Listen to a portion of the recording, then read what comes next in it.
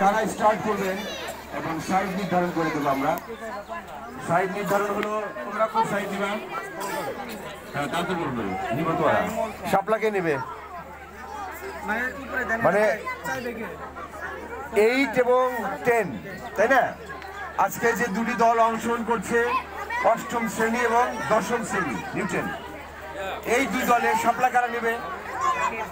মানে টেন নিচ্ছে শাপলা আর তোমরা হচ্ছে তাহলে সাইড সাপ্লাইটা সদর? সাইড লিডার দেবো পাস করলাম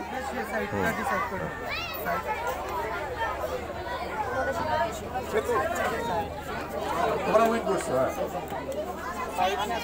অষ্টম